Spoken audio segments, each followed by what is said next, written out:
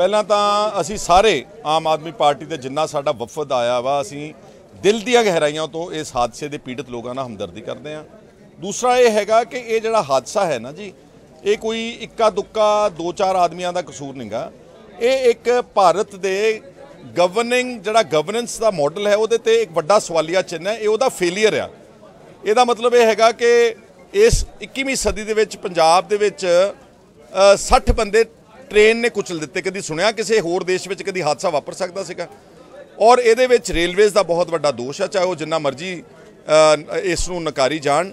ਅਗਰ ਇਹੀ ਹਾਦਸਾ ਕਿਸੇ ਡਿਵੈਲਪਡ ਕੰਟਰੀ ਵਿੱਚ ਹੋਇਆ ਹੁੰਦਾ, ਤਾਂ ਹੁਣ ਤੱਕ ਰੇਲਵੇਜ਼ ਮਿਨਿਸਟਰ ਨੇ ਰਿਸਪੌਂਸਿਬਿਲਿਟੀ ਲੈ ਕੇ ਇਸਤੀਫਾ ਦੇ ਦੇਣਾ ਸੀਗਾ। ਬਹੁਤ ਸਾਰੇ ਇਸਤੀਫੇ ਇਸ ਦੇਸ਼ ਵਿੱਚ, ਜਦੋਂ ਤੱਕ ਨੈਤਿਕਤਾ ਤੇ ਮੋਰੈਲਿਟੀ ਜਾਗਦੀ ਸੀਗੀ ਤੇ ਲੋਕਾਂ ਦੀ ਜ਼ਮੀਰ ਜਾਗਦੀ ਸੀ, ਲੋਕ ਰੇਲਵੇਜ਼ ਮਿਨਿਸਟਰ ਜ਼ਿੰਮੇਵਾਰੀ ਲੈ ਕੇ ਅਸਤੀਫਾ ਦਿੰਦੇ ਸੀ। ਏਵੀਏਸ਼ਨ ਮਿਨਿਸਟਰ 에ਅਰ ਕ੍ਰੈਸ਼ ਤੋਂ ਬਾਅਦ ਅਸਤੀਫਾ ਦਿੰਦੇ ਸੀ, ਲੇਕਿਨ ਹੁਣ ਉਹ ਢੀਠ ਹੋ ਗਏ ਨੇ ਸਾਰੇ।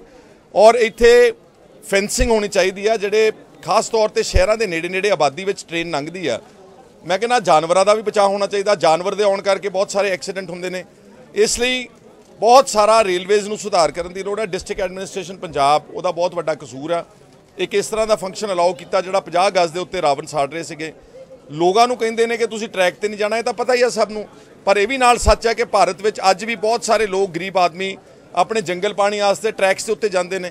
ਸੋ ਇਹ ਫਿਰ ਲੋਕਾਂ ਦੇ ਉੱਤੇ ਸਾਰਾ ਕਸੂਰ ਕੱਢਣਾ ਐਡਮਿਨਿਸਟ੍ਰੇਸ਼ਨ ਦਾ ਕੋਈ ਕਸੂਰ ਨਾ ਹੋਣਾ ਦਿਸ ਇਜ਼ ਨਾਟ ਐਕਸੈਪਟੇਬਲ ਇਹਦੇ ਚ ਸੀਬੀਆਈ ਵਰਗੀ ਕਿਸੇ ਵੱਡੀ ਏਜੰਸੀ ਦੀ ਜਾਂਚ ਹੋਣੀ ਚਾਹੀਦੀ ਟਾਈਮ ਬਾਉਂਡ ਔਰ ਜਿਹਨਾਂ ਲੋਕਾਂ ਦਾ ਕਸੂਰ ਆ, ਉਹਨਾਂ ਤੇ ਰਿਸਪੌਂਸਿਬਿਲਿਟੀ ਫਿਕਸ ਕਰਕੇ ਐਗਜ਼ੈਂਪਲਰੀ ਪਨਿਸ਼ਮੈਂਟ ਤਾਂ ਕਿ ਵੱਡਿਆਂ ਨੂੰ ਪਨਿਸ਼ਮੈਂਟ ਤਾਂ ਕਿ ਦੁਬਾਰਾ ਇਸ ਤਰ੍ਹਾਂ ਦਾ ਹਾਦਸਾ ਨਾ ਵਾਪਰੇ। ਇਹ ਹਾਦਸਾ ਤਾਂ ਇਸ ਲਈ ਫੋਕਸ ਹੋਇਆ ਕਿਉਂਕਿ 60 ਬੰਦੇ ਮਾਰੇ ਗਏ ਨੇ। ਵਰਨਾ ਇਸ ਦੇਸ਼ ਦੀਆਂ ਸੜਕਾਂ ਤੇ, ਪੰਜਾਬ ਦੀਆਂ ਸੜਕਾਂ ਤੇ ਕੱਲੇ ਪੰਜਾਬ 10 10 12 12 ਲੋਕ, ਪਰ ਪੂਰੇ ਦਾ ਪੂਰਾ ਪਰਿਵਾਰ ਸੜਕੀ ਹਾਦਸਿਆਂ 'ਚ ਮਾਰਿਆ ਜਾਂਦਾ। ਆਵਾਰਾ ਪਸ਼ੂ ਫਿਰਦੇ ਨੇ ਸਰ। ਕਿਸੇ ਨੇ ਅੱਜ ਤੱਕ ਕਿਸੇ ਮਸਲੇ ਨੂੰ ਹੱਲ ਕਰਨ ਦੀ ਕੋਸ਼ਿਸ਼ ਕੀਤੀ ਆ? ਰਾਜ ਕਰਨ ਵਾਲੇ ਉੱਤੋਂ ਉੱਡ ਕੇ ਆ ਜਾਂਦੇ ਨੇ। ਗਰੀਬ ਜਨਤਾ ਸੜਕਾਂ ਦੇ ਉੱਤੇ ਕੁਚਲੀ ਜਾਂਦੀ ਆ। ਸਾਡੀ ਐਜੂਕੇਸ਼ਨ ਪ੍ਰਣਾਲੀ, ਸਾਡੀ ਹੈਲਥ ਕੇਅਰ ਤੇ ਬਹੁਤ ਵੱਡਾ ਜਿਹੜਾ hospitals they are they are not appropriate ਲਾਸ਼ਾਂ ਨਹੀਂ ਸੰਭਾਲ ਸਕੇ। ਉਹਨਾਂ ਵਾਸਤੇ ਬਾਡੀ ਬੈਗਸ ਨਹੀਂ ਹੈਗੇ।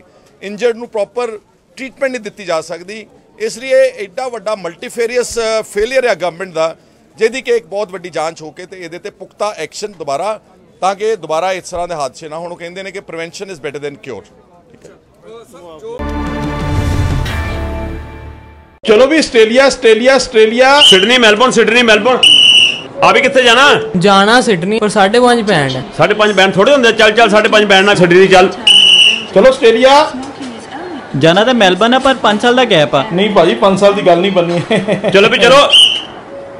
ਸਿਡਨੀ ਜਾਣਾ ਪਰ ਗੈਪ 2 ਸਾਲਾਂ ਦਾ। 2 ਸਾਲ ਦਾ ਗੈਪ ਐਲੀਜੀਬਿਲਟੀ ਹੈਗੀ ਚੱਲ ਬੈਠ ਜਾ ਕੇ। Australia Australia. ਮੈਲਬਨ ਜਾਣਾ ਜੀ ਪਰ 51% ਆਏ ਉਹ ਪੰਜਾਬ ਚੱਲਣਗੇ। ਚਲੋ ਚਲੋ ਚਲੋ। ਚਲੋ ਯਾਰ ਢਿੱਲੇ ਕਿਉਂ ਬੈਠੇ ਹੋ? ਕਾਲਾ ਕਿਉਂ ਪੈਣਾ? ਹੈ?